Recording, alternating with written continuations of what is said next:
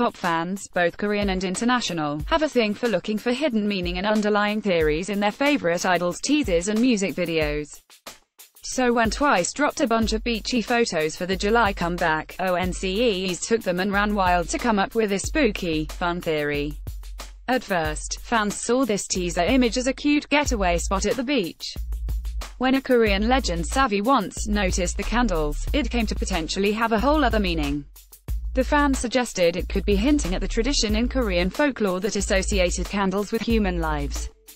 Couldn't the candles in the teaser be a clue? You know the old folk tale about the cave with infinite candles. The candles mean human lives. Since there are red, yellow, white, green, but let's say it's blue, and light purple candles here, this could mean only Chaeyoung, Jihyo, Dahyun, Tzuyu, and Sana are alive and the other members are all dead, or ghosts. Just a theory though. Once once this theory began trending, other ONCEs added that the outfits must play into the whole thing too and that members dressed in black are probably ghosts. Ad choices advertising in red invented by Teeds as the colors of the five candles in the teaser are actually the official colors of Chaeyoung, Jihyo, Dahyun, Tzuyu, and Sana. Fans are finding this strangely convincing. Will any of this actually become true in the music video?